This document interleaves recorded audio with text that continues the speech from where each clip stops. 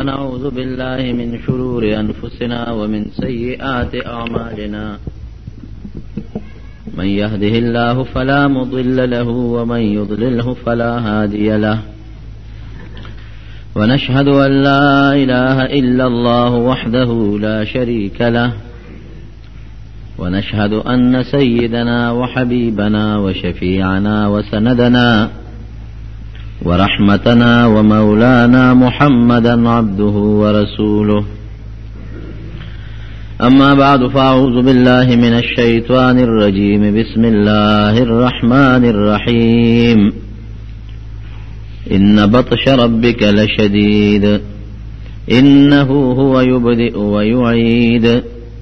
وهو الغفور الودود ذو العرش المجيد فعال لما يريد رب العالمین په دې دنیا کې انسان چې پیدا کړ دې د پاره چې د الله عبادت وکړي او د رب العالمین نافرمانی نه کوي کله هم چې انسان د الله خلاف شروع کی رب العالمین نه فرمانی شروع کی بیا ورته الله سموده صبر کوي خو چې کله الله ذل جلال غ صبر من انتها ته ورسیږي نو بیا د الله داسې قهر شروع شي دا سه گرفت شروع شي چې دا غیم سه مثال ني څومره چې دا الله صبر فراخ دی د غرنګ د رب العالمین گرفت او د الله قهرم بیا سشي ور سره سم نشتا او قران حکیم کې الله مونږ ته د ډیرو قومونو مثالونه ذکر کړی دي د دې لپاره نه چې دا مونږ ته الله په قران کې قصه ذکر کړي دې لپاره چې مسلمان ته یو عبرت شي مسلمان په دې پوي شي داغه د پاره یو عبرت شي چې کما هم دغه قومونو په شان کار شروع کو نو کومه سزا او کوم انجام چې دغه قومونو هغه به زما همي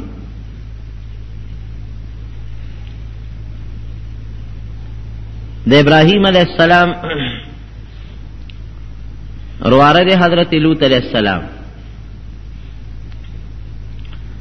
دی په عراق کې اوسېدل او عراق کې اولوي خار د بابل ورته وای کله چې ابراهیم علی السلام تعالی نبوت ورک پیغمبري ورکړه نو په خپل قوم کې دو کسانو چې غي د ابراهیم علی السلام مرګرته وکړو ایمان یې پرولو یوې د ترلورو حضرت ساره رضی الله عنها علیه السلام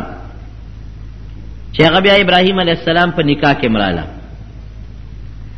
یو یې وروارو حضرت لوط علیه السلام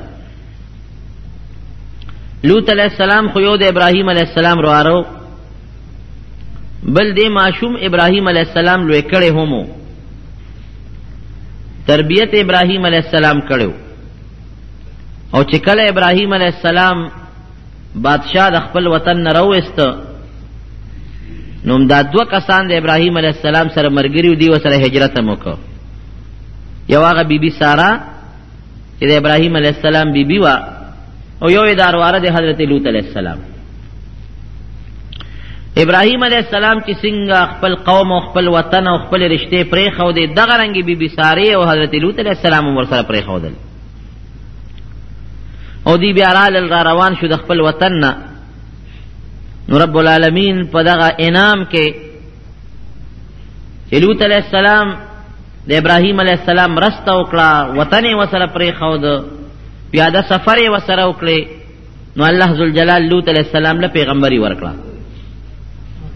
نبی شو اوس نبوت خدای الله د طرف نه یو لوی اعزاز دی دا الله لوی پیرزونه ده لوی احسان دی خو ګورې د پیغمبره بارم ډیر زیات ګرانی دا عامه قاعده ده که یو سړی په صحیح طریقه د دین خدمت کوي نو دا ډیر ګران کار دی چاته به وی چې وروره ګناه مکوه ادي مخالف شو چاته به وروره د زیاتې او ظلم مکوا ادي مخالف شو چاته به وروره غیبت او شیطانت مکوا ادي مخالف شو ادا ته وای چې ښا دا تا مصلی زړې کړې دا ما تر ځان نزبرګ جوړ کړ نو د دین مهنت کول دین خورول تبلیغ کول بلتا دین رسول دا اسانه خبره نه ده ډیره مشکله خبره ده نو لوط علیہ السلام ته نبوت ملو شو پیغمبري ملو شو دا الله لوی اعزاز دی پیغمبر دا الله ډېر مقرب بندي خو فورا یو لوی بار په ذمہ ور واچو هغه بار دا چې یو خارو لوی خار صدوم وتوي او هغه سره غیر چا پیر نور یو سلور پنځه خارونه هغه خارونو ته اولېګه په حیثیت د پیغمبره چې تلار شه تعالی مون پیغمبري درکړه او دغه صدوم خار او غي سره غیر چا پیره چې څومره خارونه دي قران حکیم کې الله وت مؤتفقات وای اغي تم ته اولېګلې هغه خلکو ته د دین تبلیغ او نصیحت او د اسلام خورونه کوه او چې کم ګناهونه او جرایم دي د هغې متعلق بیان ورته کوه چې د هغې نه ووړي ډېره ښه ابراهیم علیه السلام ورته اجازت ورکړه او د الله په حکم دی هغه صدوم ښار ته او چې کم نور ښارونه هغوی ته لاړ هلته د الله ذوالجلال هغه نصیحت او د دین تبلیغ شروع کړ قرآن حکیم کې الله فرمایي چې په دغه خلکو کې درې بیمارۍ وي روحاني بیمارۍ درې غټ غټ ګناهونه یو ګناه پکې دا و چې د خلکو به ډاکې کولې دا کومارو او داسې ډاکه نه یو خو غلی که نه چې په پټه د چا نه شی ووایي کندرو کې د شپې غلاو کې او چانه په پټه شی وای نه نه دا خو صفا د چا مخ کې به په نیغ ورتللو سامان به ته وړو نو ډاکه به کولا دا ډو په ښکارا به اغلاګانې کولې او دویم پکې دا ګناه و چې دی با ګناه پټ نه کولا ښکارا به کولا او یو دریم خطرناک بیماری و په دې خلکو کې لوی ګناه چې قران حکیم کې الله فرمایي دا غي ګناه متعلق چې دا ګناه د دین مخ کې د آدم علی السلام په اولاد کې چانه وکړي دا د دوی نه شروع و هغه د لکانو دا بدعملی الله دې مسلمانو ساتي دا درې بیماری په دوی کې لوط علیہ السلام لګیا دیو نصیحت ورته کوي خو الله په دومره فضل او احسان کړو چې د دوی کوم زمکه وي د دې د علاقه د اردن او د فلسطین په میانس کې و بحر اردن د هغې په غاړه باندې د اردن او د فلسطین په مس په میانس کې او داسې آباد علاقه وه چې په لارو به خلک تلل نو د سیوانو د دې قسم قسم میوو دا باغونه به که د دوی غلې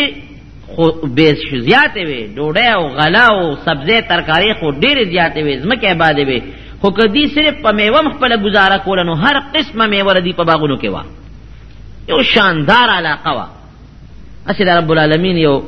عجیبه نظام دی چاله چې سزا ورکوي که نه او راګیری یې نو مخکې د دنیا د نعمتونو ته سیوا کړي چې سبا دا ونه وي چې الله نو زه تنګ ومنو دا ګناه مې کوله نه دا نعمتونه پې فراخه کړي ډوډۍ وته زیاته کی میوه ولور کی د دنیا نعمتونه ور کی نو چې په هغه نعمتونو مو نشي نو بس بیا رب العالمین راونی سي د دوی د علاقه الله دومره آباد کړي وي چې د دوی د انارو د دوی د زیتون کم بوټیو نو د هغه هغه سانګې با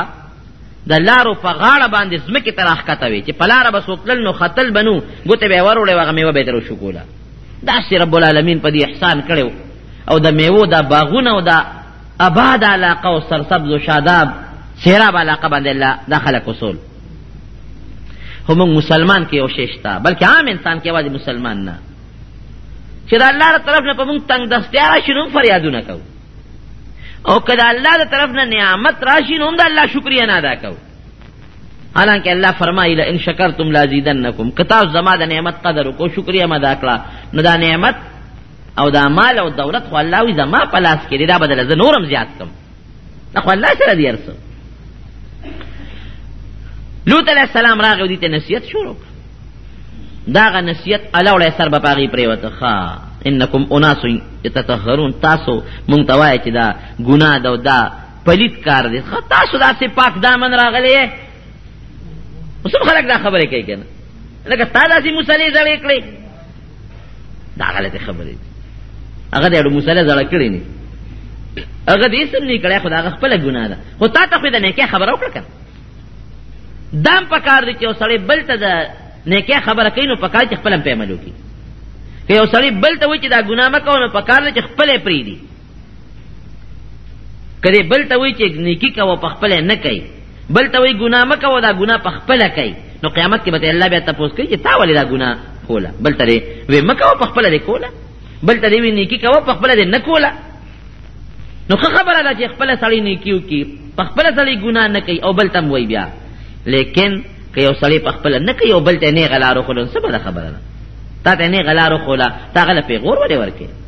دا مو سره دا وکړي دا د زبرګ راغلي د زبرګ بچي ته ماته نصیحتونه کې نو سکو نه ګنا ته خبره غلطه کړې وي خبره دې غلطه وکړه خبره ټیک کړې ده بس پرېګه د خیره ته وې کنه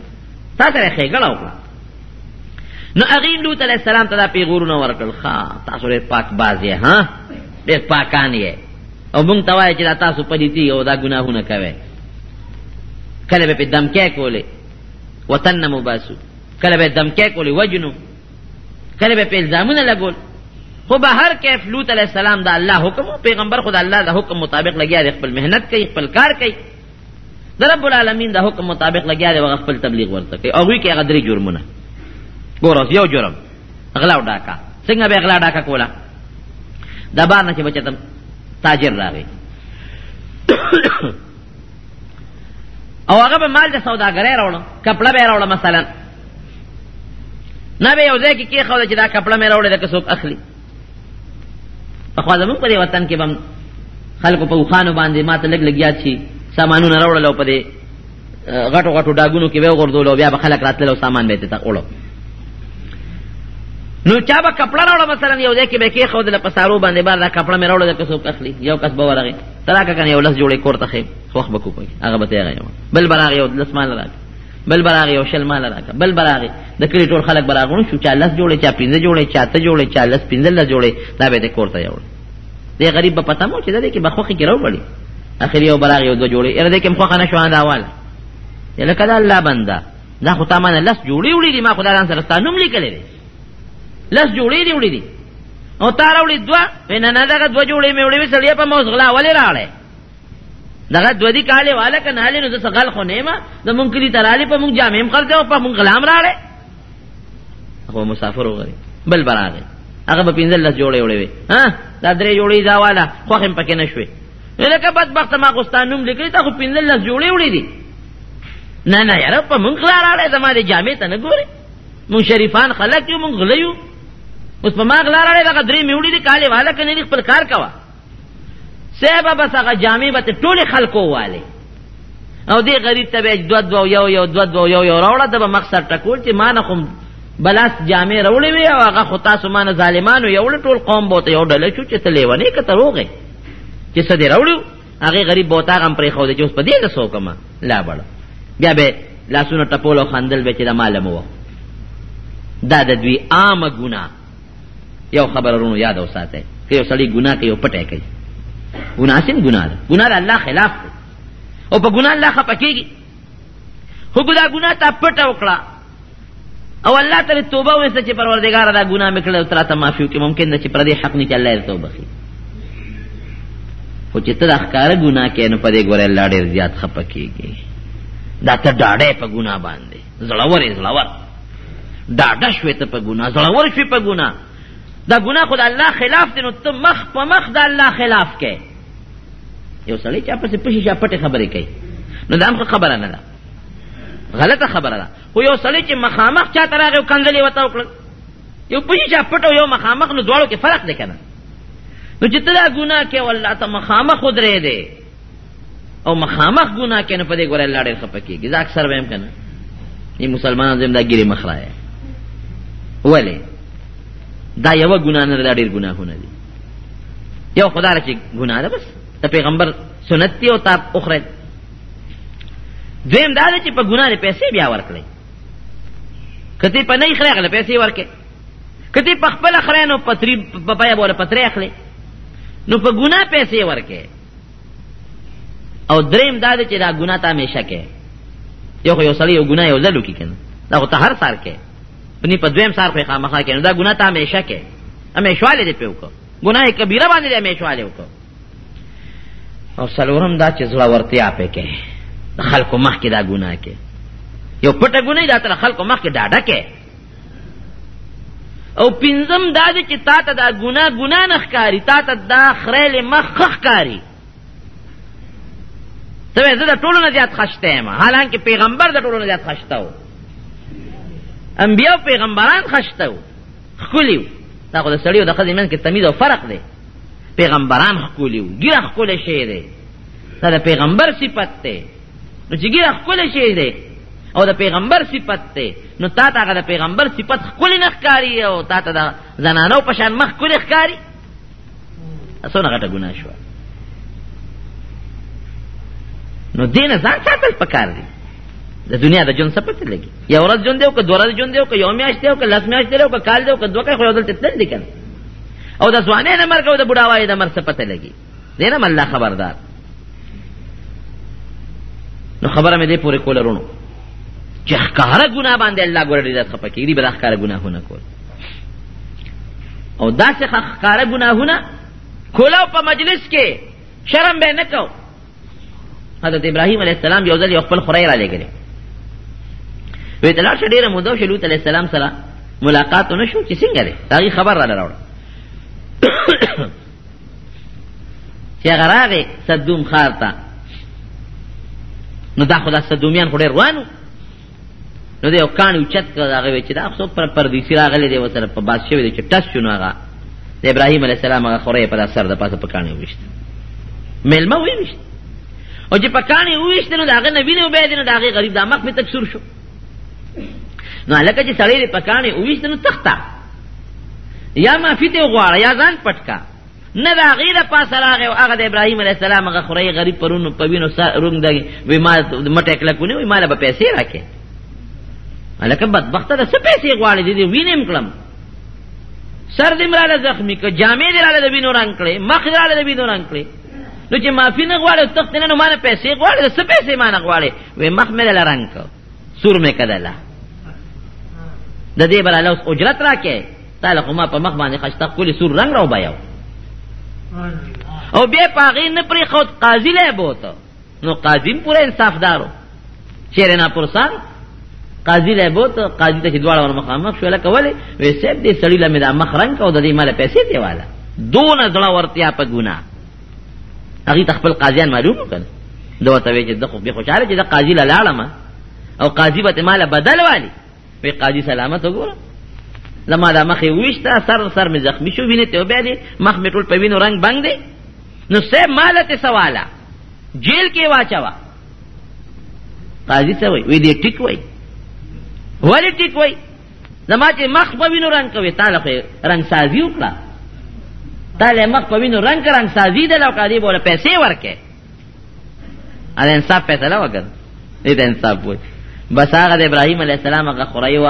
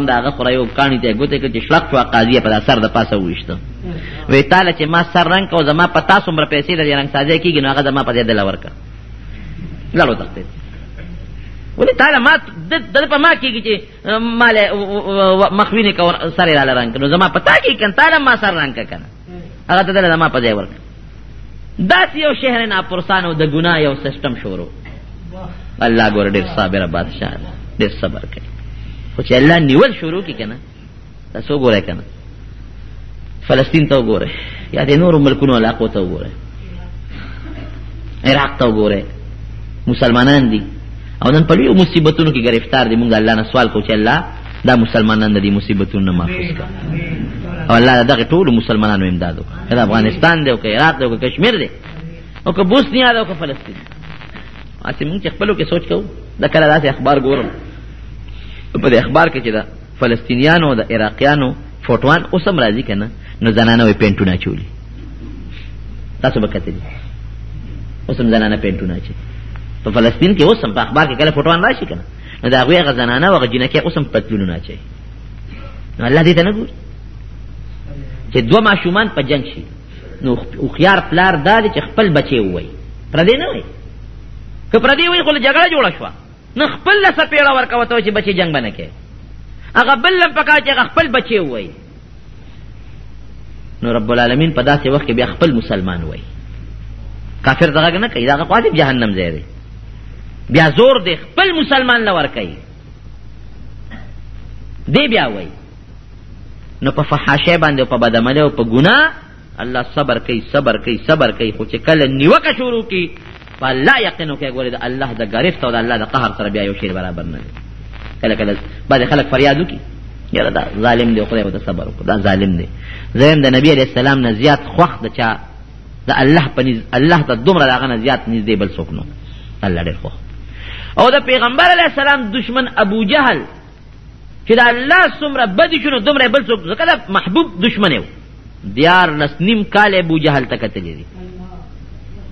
دیار لس کال په مکه مکرمه کې ابو جهل د پیغمبر علی السلام سره نخري کړی هغه وته نه کو چې مدینه منوره ته لاړ او د بدر جنگ جوړ شو تقریبا سو کال خو شا هغه ټیم هم جوړیږي نو دیار لس نیم کال تقریبا پس ابو جهل لونه نو مردارې کړ الله خو صبر کوي خو نیوکه کوي ګوري دا الله د صبر نه نبی علیہ السلام هم فرمایي قران کې الله چې دا الله د صبر باندې دوکه نشي ګوري دا مو وایي چې الله صبر کوي نه الله ماته سوي نه نه چې راونی سي ګوري بیا دا الله د قهر سره یو شی سم نه دی نو دی به دا ګناهونه کول کول او ګناه به کول او ډاکې به کولې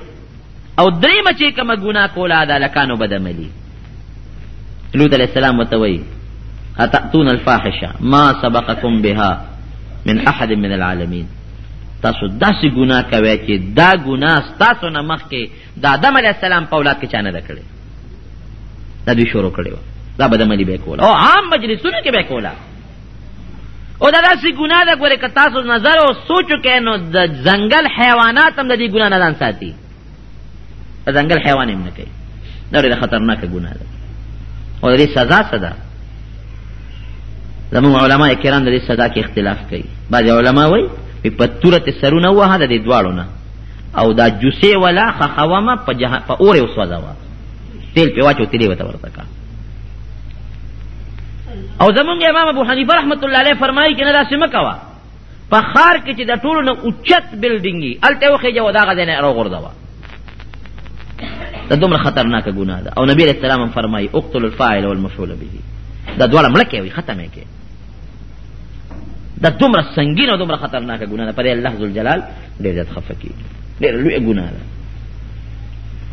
نو دا خطرناکه ګناه ده سپکه ګناه هم دی کوله او چې لوط علیه السلام به منې کول خندا به یې پورې کوله اخره کې د رب العالمین هغه قهر او د الله غضب په جوش کې راغی نو چې د الله قهر او غضب په جوش کې راشي نو باس بیا په دعاګانو کار نه کیږي بیا که ډېرې دعاګانې کې ډېرې چغې وې نو بیا کار نه کېږي حضرت ابراهیم علیه السلام په لاره روان دی او درې فرشتې راغلي او دا درې واړه فرشتې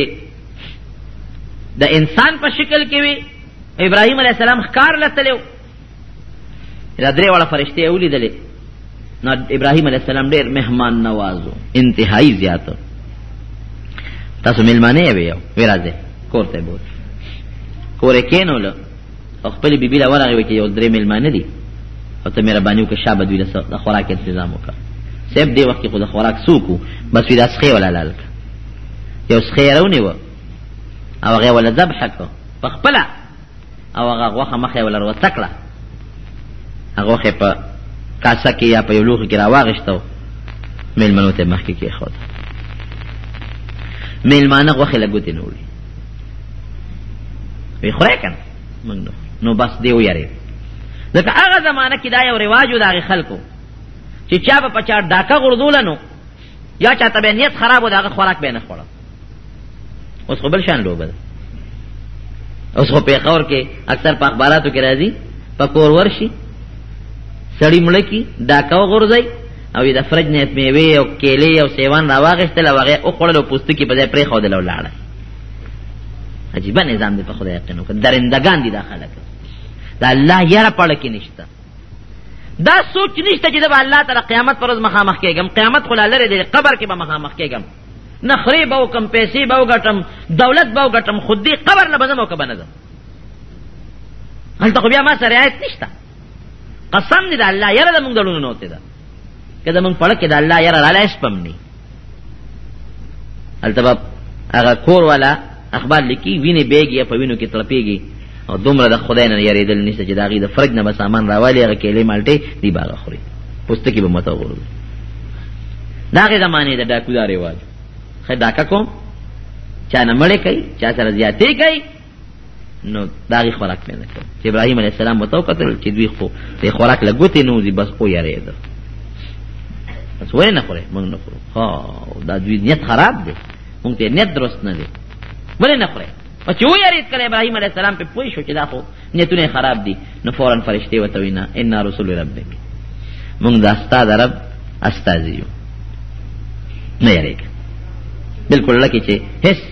فکر او سوچ را نه ولې استاد را بستاد دی سره راغلی موږ دوه خبرو لراغلی یو ان ارسلنا الى قوم لوط د لوط علی السلام قوم ته لګلی شوی بس هغه لوط علی السلام خیره کړی دی اوس او خیره د الله په دربار کې قبول دي مونږ غیله راغلی یو هغه وجنو پریدونه به دا قوم نن تباکو او تعالی یو خبر لراغلی یو هغه دا چې تا د الله نه سوال کړی دی نو ستا بیبي د حضرت ساره رضی الله عنها هغې له به الله یو زوی ورکوي ګوره سه پښتانه وایي که نه وایي غم او خوشحالي چې ده رور خور دی هلته ابراهیم علیه السلام او حضرت سارې له د زوی خوشخبري ورکوي چې تاسو له به الله زوی درکړي مبارک او دا وته وایي چې د رواره قوم نیم تباه کوه نه پرېږدو هلته په هغې غم او په دوی خوشحالي حضرت ساره رضی الله عنها کور کې و ممکن دا د ملمنو زم کور سره بنځدې او دیوال به خبره غي وره دي نه غیر تعجب د وجنه مخته داسې زنانه اکثر سپېړه ورکې د خوشاله نه یا تعجب د وجنه ښا زما به څنګه اولاد کیږي زه خو بوډه ما او شنډه بوډه ابراهيم عليه السلام معجزه کوم بوډه ما خدای مم بوډه ده او د بچو د پیدا کېدو چې هغه کم طاقت دی او الله تعالی انسان لکم طاقت ورکې نه د ماست نه د ما د بیبیشته دی دام سووي هغه وته دا د الله فیصله بس او الله چې کوم فیصلو کې وته کېدو باندې نه طاقت خو الله ورکې خدای پاکې دا الک نم دا طاقت غشتي شي د جنینه مغشتي شي بډاله امر کولی شي بډاله امر کولی شي دا خدای الله خو خدای دې کې څه دي بس یقین خو برابر شو یوسته کوي به لوط علی السلام قوم لزو ان فیها لوطا تاسو ولته د مار واره کې دې پکې فورن لکه یې رااله چې قوم عذاب ورکه د مار واره کې دې دا کله الله عذاب چې راشي کنه ټیک د پیغمبر الله ساتي او چې عذاب راشي نو عذاب سره بیا پښتانه وي کنه و چې سره ویلام دم سوځي بیا د الله عذاب یو شان نبی کریم صلی الله علیه وسلم فرمایي چې یو قوم برازي په بیت الله به حمله کوي اخره زمانہ کې نو چې د صحرا تر مخامخ شي نو الله به هلاک کی نو چې څومره قوم دې زمکه بوشلېږي او ټول به پنه نوځي کعبه به الله بچ کی صحابه تاسو کې الله رسول پاګه کې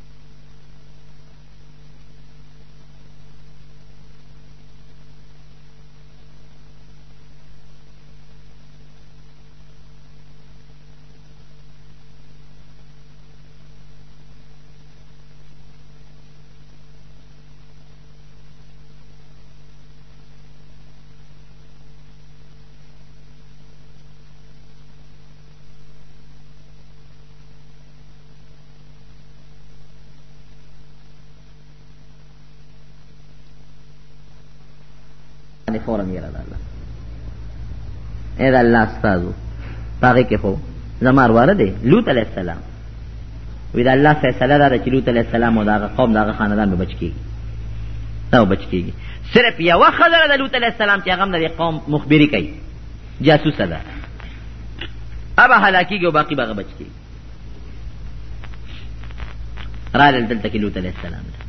ابراهیم علیه السلام له دا زوی زیره ورک چې لوط علیه السلام له دوی راورسېدل په خشته او شکلونو مزیدار دولی الکان نوجوانان دا فرشتې په هغه شکل ښکلي چې راغله لوط علیه السلام له لوط علیه السلام دوی ته وکتل نو د هغې غریب پړه باندې یاره راغله چې خدایه څوک یې وي موږ میلمانه یو اوس به داسې کېږي دا خو ډېر ډولي هلکان دي ډېر خشته دي خوبصورت دي او چې الله ذوالجلال په ښکلي شکل رالېږي نه به ښکلي شکل یې مینه یا الله زما دا قوم ته خبر نشي هغې کې خدا ګنده بیماری ده رسوا نشم پروردګاره څوک وي قوم په خپل خبر شو څوک وي چې د خځې هغه پلیته خځه چې ونه هغې جاسوسي وکړه خو چې دې څنګه رانه نوتل کور ته دې غریب ډېر زیات الله وي دواقه به هم زرعن سي ابهم و دواقه به هم زرعن غمجن شوړه کې فکر راغی چې دا خو زه باغ ځکه د میلمه بې عزتي چې د چا وشو خو دا د هغه بې عزتي ده دا خو به زما غټه بې عزتي وشي دا به څه چل کېږي دا خلک خبر شو چې خبر شو ټول راغلل اوس دته خو پته نه لګي دا فرشتي اخو انسان په شکل دی هغه څنګه راغل د دروازه بند کړې و دروازه وته وړه ورلرکا وې څه کوي وې ورلرکا ته مونږ دلته ستا ګوره دومره ډاډو د خبيث بچي خپل پیغمبر نم حیا نه کوي د یو بل نو د خلکو نم حیا نه کوي چا کې خو حیاوي ګناه پټو کې کنه وې څه کوي وې تا ته مونږ پته نه لګي چې ته مونږ نه تاسو کې څه کوي دا مېلمانه څوک دی ورلر کوه مونږ ته دې غریب به ته زولی نیول شروع کړ چې د خدای خاطر وکړي دا څه کوي ما میلمنو ته مه رسوا کوي مه مې شرموي او که خامخا ستاسو د خپل خواهشاتو خبره نو ستاسو د قوم دا څومره جنکې دا د پیغمبر یم زما لونه دي د قوم جنکې د پیغمبر اولاد دي دې سره نکاحګانې بدله وکړم خدا الله لحاظ وکړي دا خدای خاطر وکړي چې ما مرسوا کوي مینتونه ورته کوي زاره هغه ورل دي کې ورکه چې دروازه کولاو په یو ته تا ته زمونږ د ارادې پته نه لګي تا ته معلومات نشته چې مونږ سره راځو دا واده کولا وه د خولې نه یو ټکی وخت لو ان لی بكم قوه او اوی لا رکن شدید یار ارمان کو زما طاقت وي خپل خپل طاقت نه وي یا زما یو مضبوط قوم نو څخه باور که خپل طاقت مې وي چې دي تاسو ما مزه سکولی وي او که مضبوط قوم مې نو بس بیا به هم دوی ماله نه وی راغلی خو ارمان زه خو دلته مسافر یم بل ځای نه راغلی یم که قوم مې مضبوط نشته خپل طاقت مې نشته نبی کریم صلی الله علیه وسلم فرمایي رحم الله لوطا الله دې په لوط علیه السلام رحم وکړي د الله پیغمبرو خو دا خبره ولا نه وپکا چې کله ما خپل طاقت وي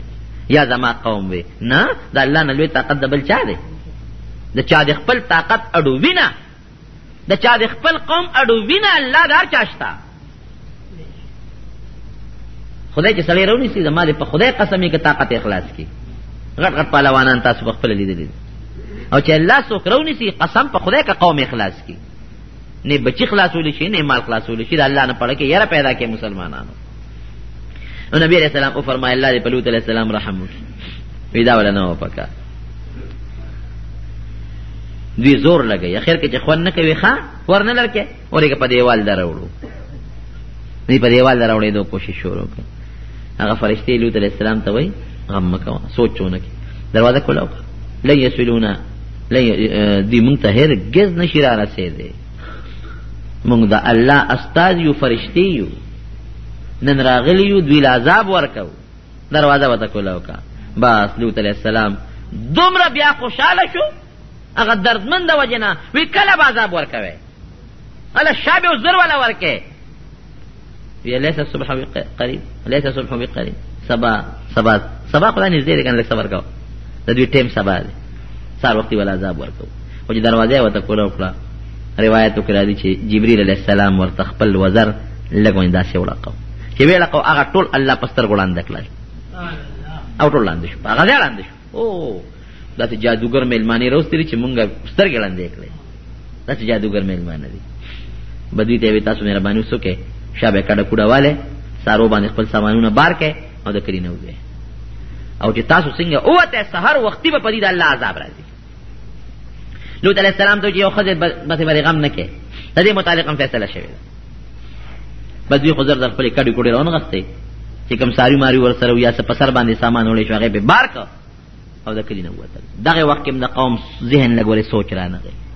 یعنی که دغه وخت کې دوی هغه خپل اسلام او خپل ایمان کامل کړی وي او د الله په حضور کې توبه استې وي نو د یونس علی السلام د قوم توبه الله قبول نه کړه سوچ را نه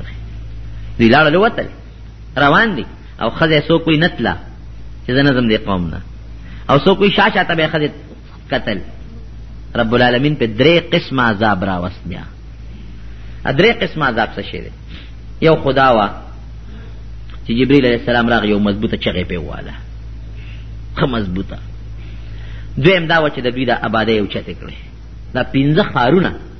دی اوچت کړل اسمان ته او بعض روایتو کې راځي چې دومره د دوی د آبادۍ د ځمکه اسمان ته اوچته کړه چې د دې چرګانو بانګونو د سپو اوازونه اسمان کې اورېدی شو دونه یې سپو رسوله او د هغه ځای نه یې پرې رالاوړې کړه او یوازې رالاوړې کول هم نو د پاسه یې پرې د کاڼو بارانونه مو کړل اوس هم تاسو تاریخ وګورئ نو هغې ته بهیر لوت هم ورته وایي بهیر مردار هم ورته وایي او د تاریخ دانان ځي د هغې سیر هم کوي تاریخ کې باقاعده په دې کمپیوټر باندې د هغې یو سیډ هم جوړه شوې ده باقاعده په دې کمپیوټر د هغې دغه ما په خپله کتلی دی هغه څه ورته وایي فوټو کمپیوټر باندې هغه لقب چې اوس هم تاریخدانان وایي چې دا چتا پخوا دلته کلیو په زلزلو تباه شوي دي د هغې ابادۍ لوړې پرتې دي څلور سوه میټره په ځمکه کې د دوی ابادۍ لاندې لاړې څلور سوه میټره دا ښکته لاړې د پاسه پې اوبه راووتې د دریاب په غاړه او هغه بهیره مردار ورته ولې وایي اوس هم اوبو کې خو چې سړی پریوځي نو پکې سړی ډوبېږي د اوبو دا خاصیت دی چې پکې پریوتې نو ډوبېږي به هغه اوبو کې خلق دغه سی وردانګي ډوبول نه کوي هغه اوبو کې هغه خپل د ډوبول هغه طاقت هم نشته ما په خپل په کمپیوټر باندې هغه د کمپیوټر یو ککوړې غوندي یو سیری په هغه ښکاری ما کتل هغه اوبو کې هغه طاقت نشته چې سړی پکې ډوب شي خلک پکې ورځي کینی پکې ډوبول نه کیدا چې پکې ګرځي راګرځي دا د رب العالمین د قهر او د الله د غضب هغه سزا شو قرآن کې الله فرمایي کنه ان بطش ربک لشدید دا الله نیول او دا الله غضب ګور ډېر سخت دی ډېر سخت ان بطش ربک الله نیول انه هو یبدئ و یعید پیدا کولم الله کوي او بیا واپس کولم الله کوي دوباره جنم الله ور کوي لومبه جنم الله ور کوي وهو الغفور الودود الله بخون کم دی خلکو سره مینم کوي ذو العرش المجید د ډېر لوی عرش خاوند دی او ډېر لوی بزرګي خاوند دی فعال لما يريد چې څه کوي نو الله کولی شي هل اتاک حدیث الجنود فرعون و ثمود تا ته وای دا فرعونیانو د ثمودیانو د لوط علی السلام او د نور لخرو خبر نه معلومه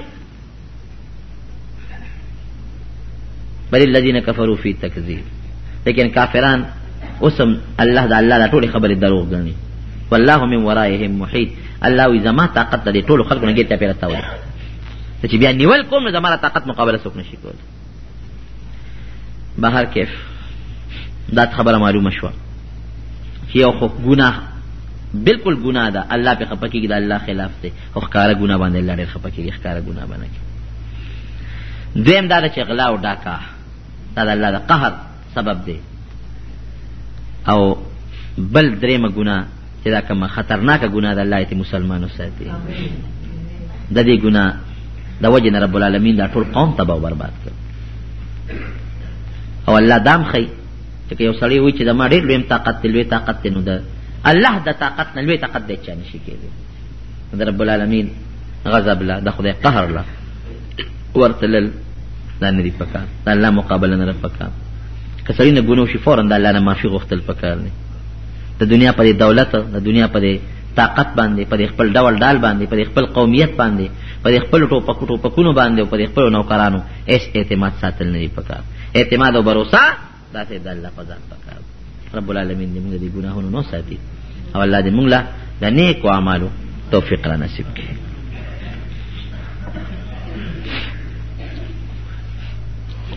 نعت شریف کې کده جانان لفظ راشي نو خیر دی نبی علیہ السلام ته جانان لفظ استعمالیدل ټیک ده کنه جانان خو خلفظ دی پښتو کې دوسته وای چا سره چا مینه نه هغه لپاره خلک جانان لفظ استعمالي د وسیلې خو ډېر قسمونه دي کنه نو بعضې قسمونه صحیح دي او بعضې قسمونه صحیح نه دي چې په نیکو اعمالو یو سړی وسیله نیسي نیک اعمال لکه دا غار هغه حدیث مې درته ویلی وکړه درې کسانو درې واړو خپل نیک اعمال الله ته وسیله کړل نو خیر دی څه ګناه پکې نشته دی او یو ښځې له خاوند طلاق نه ورکړي او عدالت ولا طلاق ورکړي دا واده کولی شي که نه دا خو یو ډېر اوږده مسله ده دکې بیا پوره تفصیل چې موږ وورو نو د هغې په رڼا کې فیصله پکار ده بعضې سړی وي هغه هېڅ قسمه غلطي نه وي غلطي د ښځې وي او هغه عدالت ته لاړه شي اوس پیسې میسې استعمال کړي او عدالت یې د خاوند نه جدا کړي او بعضې دی چې هغه د خاوند غلطي وي نو دا مسله داسې نه ده دکې اجمالي خبره موږ نه کوو دا هغه تنسیخ قاضي ولاړ اوږده مسله ده دې کې چې چاته را مسله پیښي ناغي دې ما سره بیا ځان خپل رابطه وکړي چې ما پوي کړي هغه مطابق جواب ورکړي ګرانو محترمو اوریدونکو د شیخ الحدیث مولانا محمد ادریس صاحب دا 136 نمبر کیسټ ډک شو پدې کې تاسو د حضرت لوط علیه السلام واقعا وریدا دا